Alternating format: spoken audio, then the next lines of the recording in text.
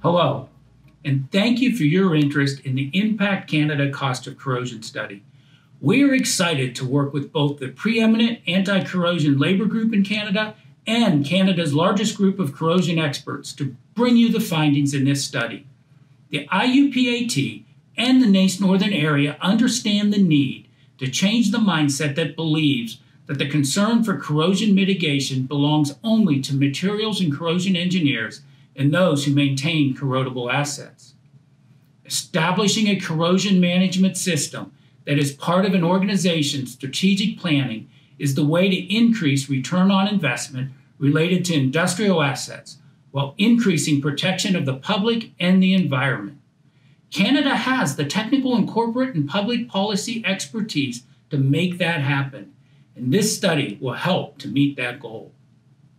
Canada has the world's ninth largest GDP by nominal, and the estimated annual cost of corrosion is $51.9 billion, which amounts to 2.98% of GDP. This is a staggering figure and one that merits continued examination and comprehensive plans and procedures to mitigate. The good news is that corrosion management and control systems are effective in mitigating and lessening this economic impact. With the increased risks due to aging infrastructure that includes risks to lives and the economy, it's imperative that we place a financial value to potential corrosion related consequences and failures and compare that to the needed investment to safeguard this infrastructure and protect public lives, extend asset life, and protect the environment.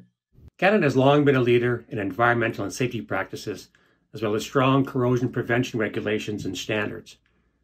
This impact study is so important because it gets down to specifics on how communities and industries across Canada can lower costs and increase sustainability. Businesses in Canada must begin to change their corporate culture around corrosion. By utilizing the corrosion management system outlined in this study, we can reduce costs, help the environment, and build a stronger Canadian economy. Thousands of IUPAT members work in this industry. Even the best designed bridge water structure, mm. anything requires our members' skills. And tackling the issue of corrosion is something that the IUPAT with NACE and the newly formed AMPP is something that is of a high priority to our members and to our industry. And that's why we are supportive of moving Canada's infrastructure in a way that has our members at the front of solving the problem. We really decided to participate with the 2021 Impact Canada study simply because the corrosion of vital public infrastructure, such as our water systems and transportation assets, impacts industries and communities across Canada.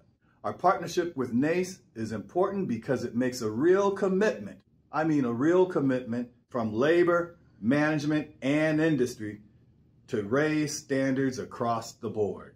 Asset-owner companies in Canada must become strategic in the way they predict and manage the likelihood and consequence of corrosion-related events across the entire life cycle of an asset, with given to the long-term return on investment. The NACE Northern Area is excited to be part of this study. The study brings attention to the operational and economic benefits of maximizing corrosion mitigation efforts in an organization. One example highlighted in the study demonstrates how the City of Vancouver gets it.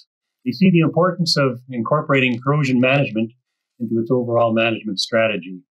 In 2016, to effectively manage its 33 bridges, the City of Vancouver instituted a bridge coating operation and maintenance program to gain better control of their aging assets. They developed a comprehensive bridge coatings maintenance program, which allows more efficient planning and staffing, supports improved scheduling of maintenance work, uses industry best practices, improves budgetary accuracy, creates an accurate record of work completed, avoids unexpected shutdowns and inconvenience to the community, and most important, in all public and private enterprises, it mitigates risk. Yes, the City of Vancouver gets it. And how has the program worked? they have been able to significantly decrease unplanned outages and failures through this comprehensive bridge maintenance program. This is a clear example which illustrates the positive operational and economic benefits that can be achieved when an organization embraces corrosion management processes and procedures throughout the enterprise. Canada is a global leader in corrosion expertise, and with its government and industry knowledge, it is well equipped to seize upon opportunities to improve infrastructure while reducing both costs and risks. Visit nace.org slash impact Canada for more findings.